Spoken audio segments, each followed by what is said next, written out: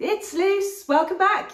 Or if you're new, you've picked a corker to start with on this 30 day journey of me and my stories as a small business owner and cake artist. So, part 15 of 30 how to have confidence in your creativity. I've got a sparkly top on today because this could be the genius moment for you, or on the flip side, you're going to think I'm completely batshit. Anyway, let's see. Where does creativity come from? Let's start there because I have a theory on this. I don't know if it's true, but thinking this will enable me. I'll tell you in a minute. That's the real that's the real kicker. I look like I do physically because of physical memory from my parents, you know, and from their parents before them. I've got two arms, two legs, this nose on my face. This I'm not responsible for. Um, I look like my mum, I look like my dad. Neither of them are arty, the painting thing. My brother doesn't have this talent. His is for numbers. In fact, I remember as a kid, if we ever drove anywhere, he would get super excited if he saw a car number plate that was palindromic. That was his bag. Um, among uh, many other talents he has. Great, my brother.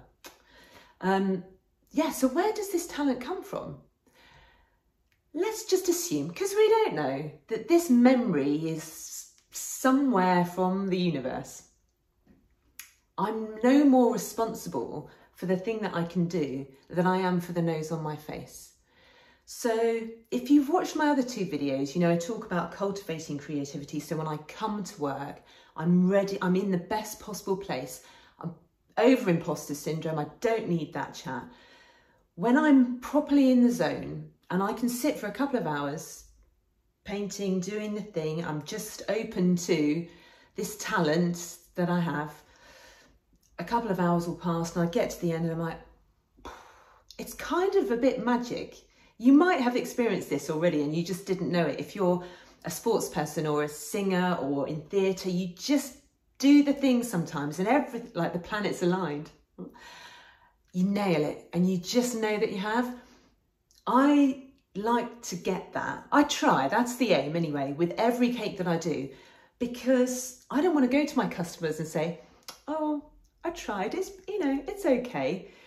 If I'm putting, I think I said yesterday, trust the process. I put my trust in the universe. This talent that I have, it's a gift for me to share it.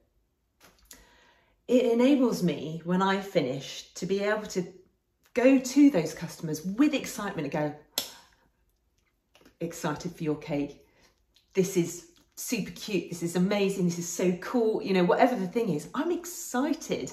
I don't want to sound like, you know, oh, I'm so amazing. No, no, I'm putting all responsibility out there on the universe because I want to be able to go to my customers with that.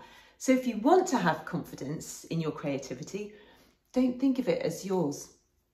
This memory, this talent that you have comes from somewhere else and letting that in, oh, you really are going to think I'm properly kooky. Who knows, right? We don't know. We don't know the answer.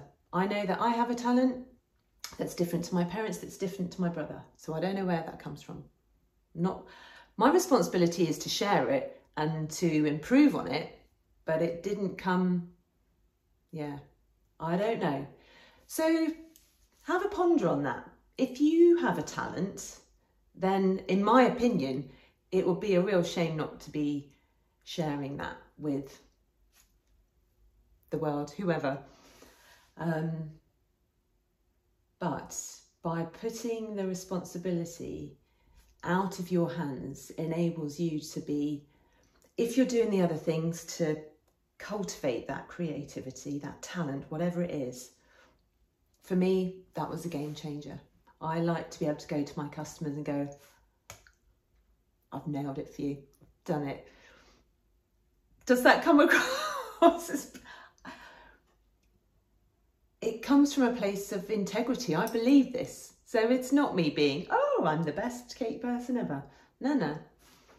I just want to be able to do a good job for my customers and for the people that they're buying cakes for. It's important, you know, I've talked before, this centre of the universe moment, we're creating memories. So I'm merely using this memory talent from somewhere else. And so you're welcome.